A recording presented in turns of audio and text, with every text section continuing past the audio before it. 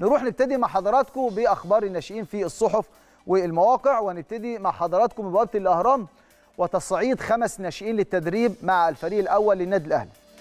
الأسماء اللي صعدها موسيماني أرجع للخبر الأولاني تاني الأسماء اللي صعدها موسيماني الخمس ناشئين حابب أقول لحضراتكم على أساميهم برضو أحمد أشرف أحمد أشرف ومحمد أشرف وعمر رزق مواليد 2001 إبراهيم السيد مواليد 99 وأحمد السيد غريب نجل الكابتن سيد غريب مواليد 2002 وده أصغر ناشئ يتم تصعيده خلال الفترة دي من مواليد 2002 وبالمناسبة لاعبين مميزين جدا. نروح الخبر الثاني ومع منتخب الشباب منتخب الشباب يواجه بتروجيت وديا الأربعاء وكل التوفيق للكابتن ربيع ياسين والجهاز الفني.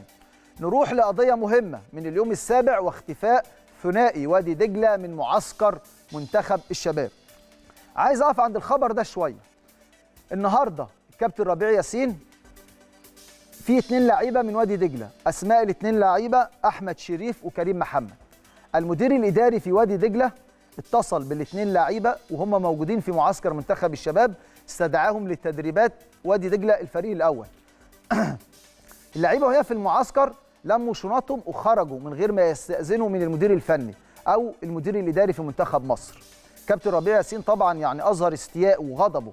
من الموقف اللي حصل خاصة إن الكابتن ربيع ياسين علاقته بكل الأندية من وقت ما تم إنشاء منتخب الشباب 2001 علاقة جيدة بكل الأندية.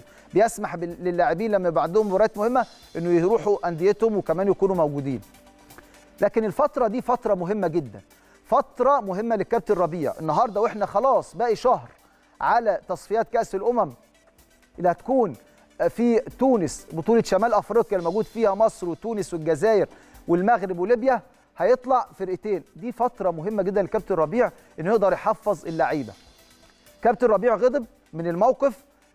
عايزين نشوف بقى موقف الكابتن ربيع بعد ما أعلن أو قال للجنة الخماسية لازم تاخدوا قرارات ضد الاثنين لعيبة. اتحاد الكورة قال دي فترة خارج الأجندة الدولية.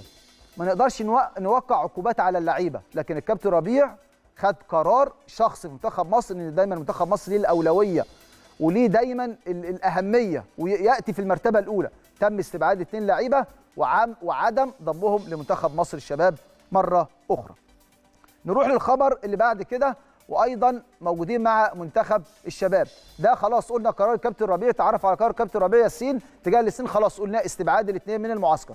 بتعليمات كاف منتخب الشباب يصطحب 20 لاعبا في بطولة شمال أفريقيا بتونس. ال 20 لاعب هيكون منهم ثلاث حراس مرمى. الخبر اللي بعديه تغييرات في الأجهزة الفنية بقطاع الناشئين بالزمالك.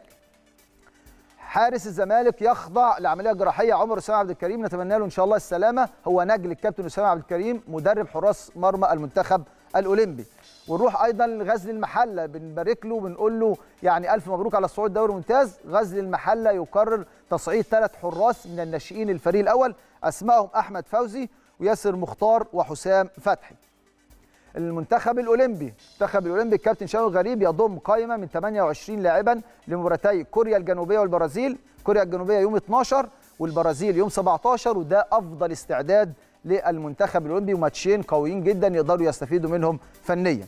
نروح بقى للخبر المهم جدا من موقع يلا كورة. كابتن محمد يوسف المدير الفني لنادي البنك الأهلي. استعار محمد فخري وشادي رضوان. اثنين لعيبة مميزين اثنين لعيبة لعبوا مع الفريق الأول بالنادي الأهلي ثبتوا ذاتهم. لكن نشوف رؤية النادي الأهلي خلال فترة قادمة مع اثنين لعيبة من خلال استع... إعارتهم لنادي البنك الأهلي